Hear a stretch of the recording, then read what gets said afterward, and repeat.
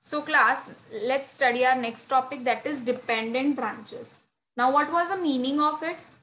A branch is always said to be dependent when its accounting is done by its head office. जब accounting पूरा head office संभालेंगे तो हम इसको क्या कहते हैं? They are the dependent branches. And dependent means whole of the branch की income, branch के expenses, branch assets and the branch liabilities will be ascertained by whom? It will be ascertained by HO. Now, oh, as we discussed in the earlier uh, this method that just like कि हम हमारे दो methods होते हैं daters method and the stock and dater method in the dependent branch. So whenever the goods are being sent in to the branches, either it will be sended on the cost price or either it will be sended on the invoice price. ठीक है now जो भी आपका price होगा selling price होगा ना कि, कि कस्टमर को आपको कितने में सेल करना है। तो sale price also will be this decided by an HO HO will decide it head office he decide करेगा। और वो गुड्स को कैश पे देना है कि क्रेडिट पे देना है वो सारा भी डायरेक्ट कौन करेगा? एचओ ही डायरेक्ट करेगा। And whatever would be the excess stock अगर सपोज़ बहुत सारे ऐसे गुड्स है जो ब्रांच में नहीं बिके है ऐसे ही पड़ा हुआ है So whatever would be the excess stock, that excess stock should be sent by the branch again back to the head office.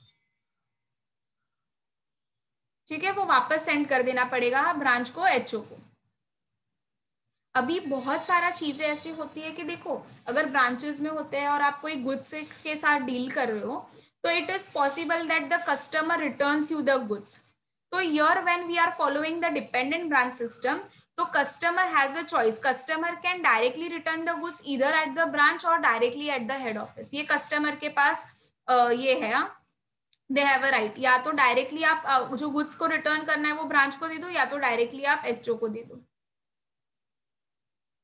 ठीक है? नाउ एचओ जो भी होगा they will be sending the cash to the branches for all their petty expenses जो भी छोटे मोटे expenses होंगे उसका पैसा कौन देगा? एचओ पे देगा ब्रांच को। And what the branch will be doing the branch will be maintaining the petty cash वो जो भी छोटे मोटे उसके expenses होंगे they will be maintaining the petty cash for the same okay now over here how the accounting is done so the branch will be keeping its memorandum account now we have done this in the fire insurance as well memorandum का मतलब होता है rough account so they will be preparing a rough account of the daters then petty cash का rough account होगा creditors का rough account होगा stock का होगा। जस्ट टू सी के डे टू डे बैलेंसेस कितने हो रहे हैं। कुछ पैसे का तो फ्रॉड नहीं हो रहा है।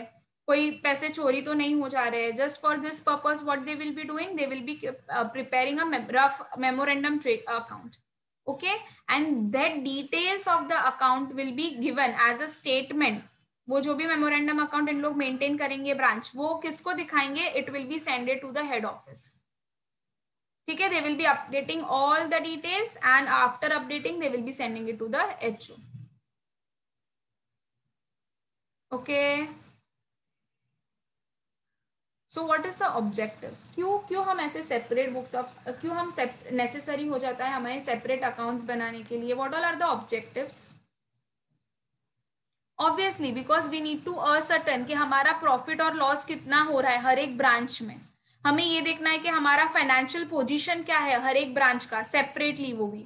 देन हमें हमारे असेट्स को कंट्रोल करके रखना है, हमें हमारे कैश है स्टॉक है डेटर्स है, उनको हमें प्रॉपर कंट्रोल देखना है कि हमें ये देखना है कि प्रॉपर ऑपरेशन हो रहे या नहीं proper the activities are being conducted और नॉट ठीक है?